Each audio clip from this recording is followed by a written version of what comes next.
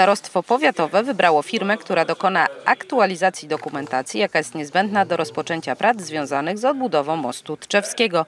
W dokumencie muszą znaleźć się rozwiązania dla wyeksponowania w ciągu ulicy Jana Skolna zdemontowanego przęsła ESTB, a także projekt portalu wjazdowego nad Przyczółkiem Zachodnim. Ta firma, którą przed chwilą pa- Państwo poznaliście, będzie projektowała ekspozycję przęsła STB oraz zaprojektuje portal wjazdowy od strony y, miasta Tczewa i wieżyczkę, która będzie bliźniaczym odbiciem pozostałych ośmiu wieżyczek, które są jeszcze do wykonania. I to jest cały zakres, y, jeżeli chodzi o ten projekt.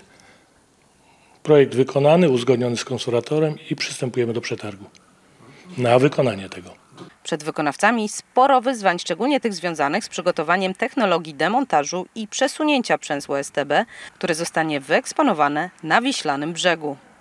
E, Zakres naszego przedsięwzięcia opisany jest e, szczegółowo w przedmiocie zamówienia. E, W skrócie będzie polegało zadanie na przeniesieniu pozostałości jednego z przęseł na nabrzeże i wyeksponowanie go w postaci przedmiotu muzealnego oraz doprojektowanie portalu wjazdowego e, i, i wież na e, jednym z filarów.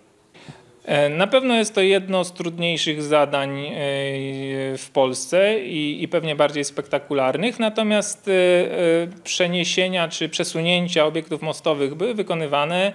Były wykonywane bardzo dużych obiektów, zarówno poprzeczne, podłużne. Most na przykład w Toruniu na Wiśle był montowany w podobny sposób, że z nabrzeża płynął bezpośrednio na miejsce montażu. Tu będzie kolejność dokładnie odwrotna. Więc takie inwestycje podobnej skali na pewno były wykonywane, natomiast jest to na pewno jedna z ciekawszych inwestycji w Polsce, która będzie realizowana w zakresie przebudowy mostów. Projektanci muszą szybko przystąpić do robót, bo by starostwo mogło ogłosić kolejny przetarg na zadanie za prawie 62,5 miliona złotych pozyskane z Polskiego Ładu, najpierw trzeba przygotować całą niezbędną dokumentację. Na rozpoczęcie procedury przetargowej powiat ma 9 miesięcy.